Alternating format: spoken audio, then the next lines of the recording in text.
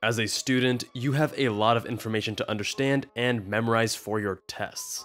If you have powerful photographic memory, your job is much easier. But if you're one of us mere mortals, then you face two issues. First, you don't remember everything you should, and second, it takes too much time to memorize. What if I told you you could have your cake and eat it too? Here's how you can boost your memory, memorize more facts, and spend less time doing it. Dr. Jubbal, medschoolinsiders.com. For more lessons, insights, and tips, follow me on Instagram at medschoolinsiders. Now, there are different types of memory, such as procedural memory, which is like knowing how to swing a golf club, and declarative memory, like being able to recite and draw the cervical plexus for your anatomy exam. We care about semantic memory, which is a type of declarative memory, and that is the type that's going to help you get an A on your chemistry final and a 525 on the MCAT. From examining neural networks in sea snails to caring for amnesic patients with localized lesions, neuroscientists have learned a great deal as to how human memory works and how to squeeze the most utility out of our hippocampi. The hippocampi are the centers in our brain that store long term memory. Looking back over a century ago, we can thank the psychologist Hermann Ebbinghaus for studying his own memory and generating what is now known as the forgetting curve. In its simplest terms, the forgetting curve demonstrates that after forming a memory, we gradually forget more and more of it as time elapses. Retrieving memories is a separate process from storing them, and this too is imperfect. That's why eyewitness reports are notoriously unreliable. We know from neuroscience fundamentals that repetition potentiates neural connections and allows us to remember information more effectively. The problem is that we have far too much information to learn. We can't repeat every fact we need to know on a daily basis. Enter the spacing effect. By repeated exposures to a piece of information at increasing intervals between each repetition, we can optimize memorization and retain the most information in the least amount of time. The key here is that you must recall the information and not simply recognize it. Recall refers to being given a cue and retrieving the relevant information on your own. Recognition refers to seeing a piece of information and finding it familiar, thinking, oh yeah, I know that. For memory purposes, recall is far superior to recognition. This is correlate to the testing effect, whereby being tested and having to recall a piece of information strengthens the memory encoding process. The spacing effect is most powerful when the timing is just right. If too little time elapses between repetitions, the information is not reinforced as strongly. If too much time passes, you forget and are unable to recall the desired information. Medical students are tasked with learning insane amounts of information in a very short time frame. Through necessity, many have turned to less common study tools to aid them in overcoming this seemingly insurmountable feat of knowledge. Enter space repetition software, the king of which is Anki. Anki and other space repetition software automate the process of scheduling facts that you need to learn in the form of flashcards. While far from perfect, Anki is the best option we have right now. I have no affiliation with Anki, but I used it heavily as a medical student and ascribe much of my own success to using it properly. It's cross platform and syncs across all your devices, which is important for reasons I will get to shortly. Inevitably, many students ask me whether or not they should create their own flashcards or if using a pre made deck is okay. There are pros and cons to each approach.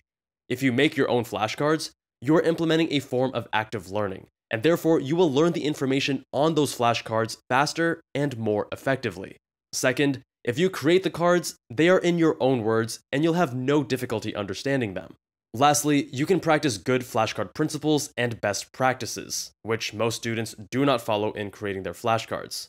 Creating these ineffective and bad flashcards is the most common mistake and main reason that students end up dropping Anki altogether. The main benefit to using a pre-made deck is that you will save time on the card creation process. However, if you are following the principles from this channel, you should be efficient enough to create your own cards and reap those additional benefits. As a medical student, I always created my own flashcards.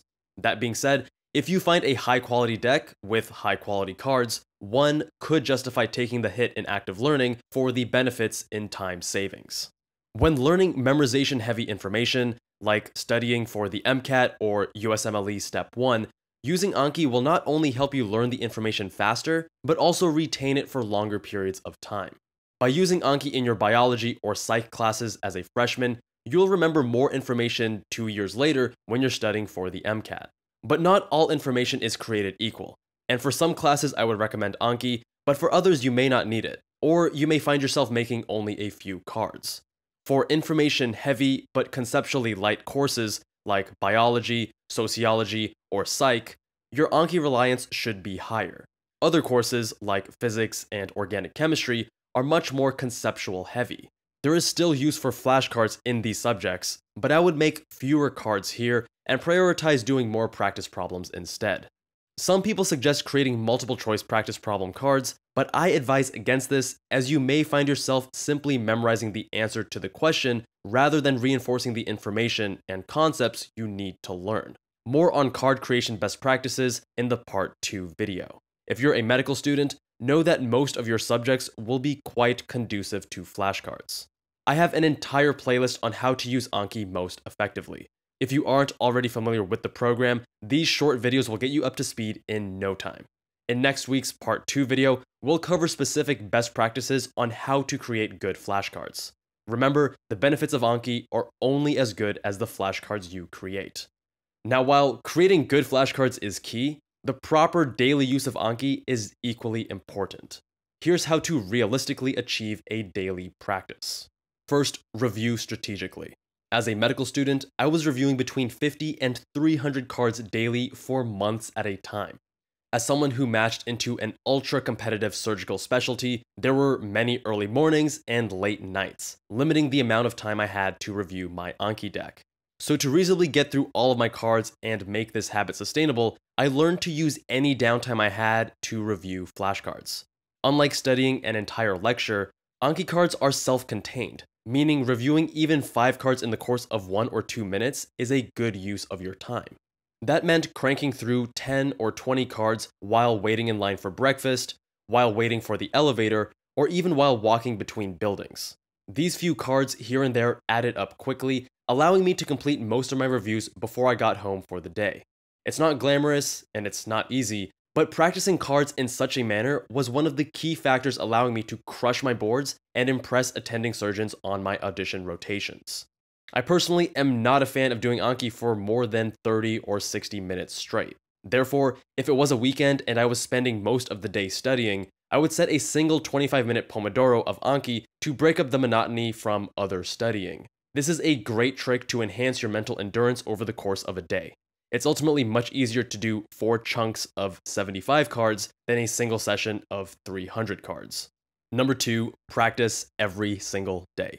Anki runs on an algorithm which optimizes for learning information, but it is not easy to schedule days off. It does not care if you are sick, if you want to relax, or if you're on vacation. It is therefore critical you do your flashcards every single day. This is challenging in the first few weeks as you are building the habit. And during this time, your review burden builds, meaning the number of cards you are assigned to review each day. Number three, avoid getting behind on cards. Inevitably, you will fall behind you will skip a day here or there. But understand that this should be an exception, not the rule. The more often you skip days, the harder it is to keep up, and the less utility you will get from Anki. When you do fall behind, your best bet is to take a couple days playing catch up and power through your overdue cards. Avoid skipping days and avoid resetting the cards, as you are losing valuable interval information that ultimately helps to consolidate your semantic memory. Number 4, don't make too many cards.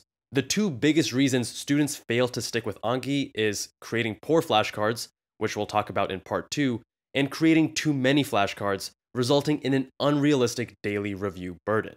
Students often get carried away when first using Anki, sometimes creating over 100 cards for a single lecture. Understand that each card you create is a card that you will have to review in the future. Practice some constraint and create cards for more important information while leaving out the less important details. We go over exactly how to do this in a previous video. And lastly, be honest with recall versus recognition. Remember, this algorithm and the spacing effect work best with recall, not recognition. So don't cheat yourself.